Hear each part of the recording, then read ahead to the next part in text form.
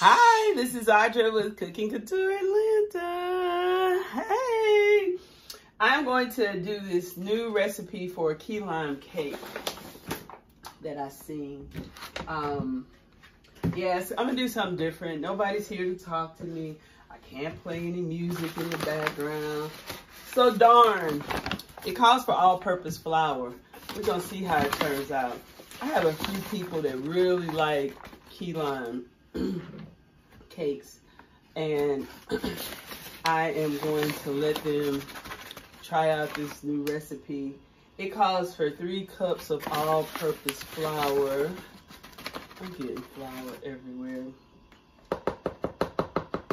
So, you know, you mix your dry mix together.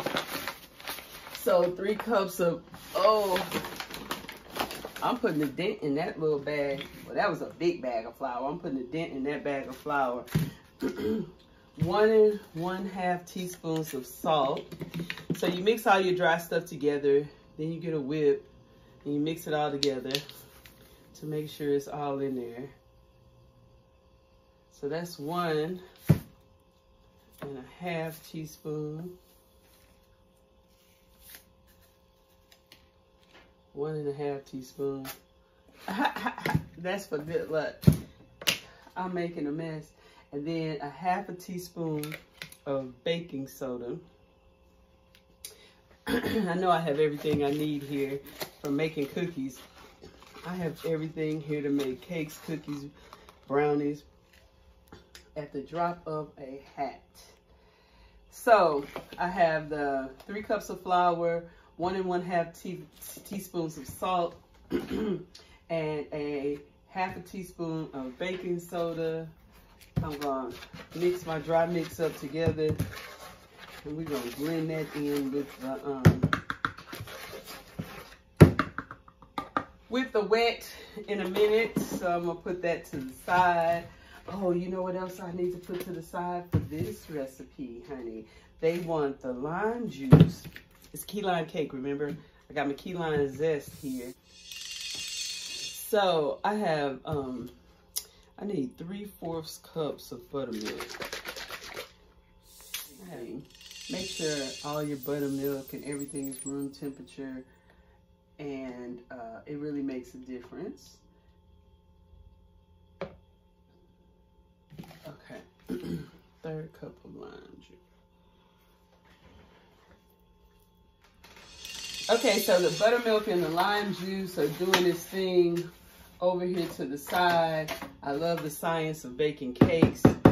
Cool stuff is happening over there. Okay, so now what I need to do is get me two cups of sugar.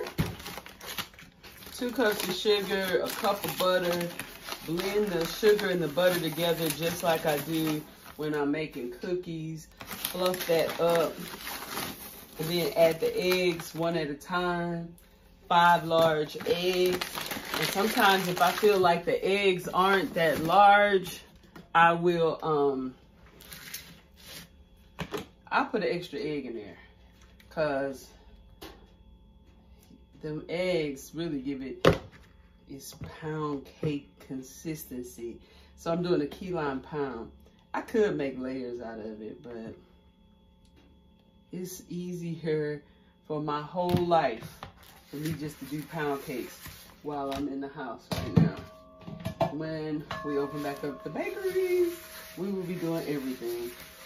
So this bowl is designed to be held right here. And that really helps. All right, so I'm mixing in my two sticks of butter and two sugar. And then I'm going to um, politely add me five eggs, blending them, doing them one at a time. One at a time. Each egg one at a time. Sometimes I have to get that left hand a break. okay. Number four, batter's looking good. If you think you're going like bake more than one cake in your life, pay attention to what you're doing. Pay attention to how the batter looks and smells and feels. So when something goes wrong or something happens, you can kind of look at it and tell. Okay, so the buttermilk and lime juice has been doing this thing together. And then the baking soda and salt and everything is over here. So what you do is you just add a little bit, stir this in, and then you add a little flour. You rotate, go back and forth with it. Let it do its chemistry thing. It's better when it's a system. You know, that's so funny because people used to always say, you're going to tell people how to make your cakes. And I said, I don't know. I said, but if I tell them how to make it, that doesn't mean I'm going to tell them the system. Because the system is everything. Like how you blend it, keeping stuff at room temperature, mixing all the dry together and all the wet together, and then how you combine it and how you mix it, how long you mix it and all that. It really matters.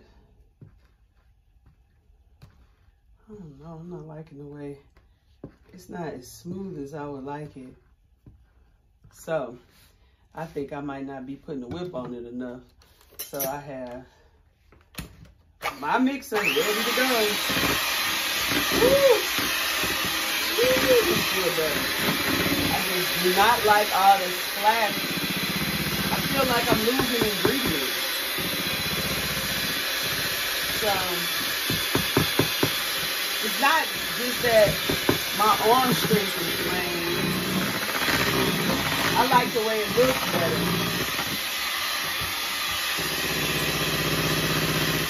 You see it's so cool how these bowls have the little pouring spout makes it easier to pour stuff out of it.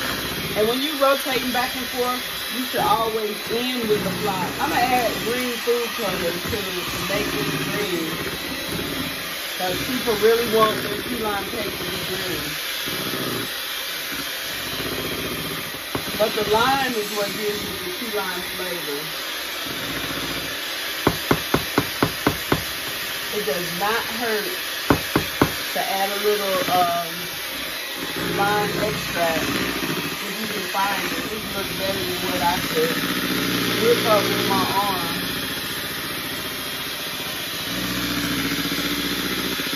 Even, have, even if I use my whip,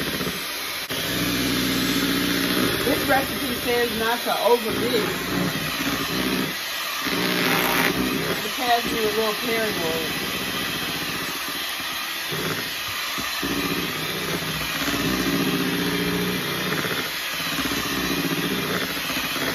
I like the way it looks. It's gonna be an old-fashioned pound cake for sure. It doesn't really take a long time to whip up nice homemade cake, homemade dishes, pancakes. When you have everything, and I and I keep everything to bake, everything. You have your closet properly stocked.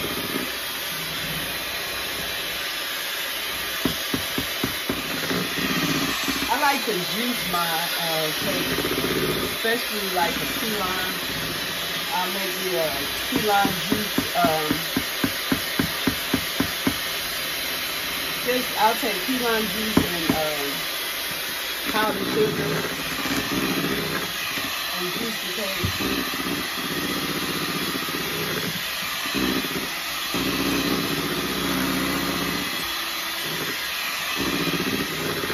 think I might have forgot to order the which I put it in. But it's okay, as long as I end on flour.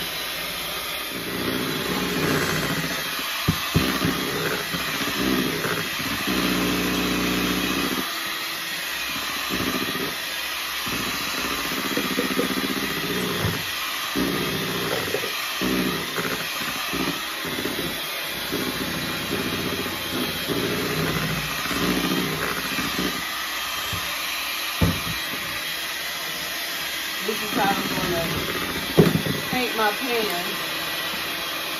I have the avalanche going over here.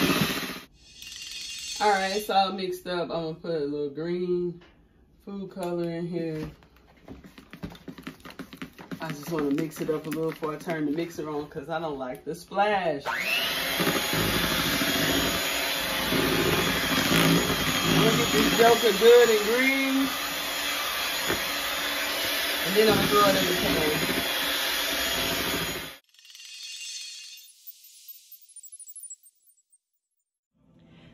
Okay, so the cake is finished. It is delicious and it tastes so good. I forgot to take a picture and I forgot to finish the videotape, but I'm really happy with this recipe. It's a few things that I want to tweak, but um, I might rock with this.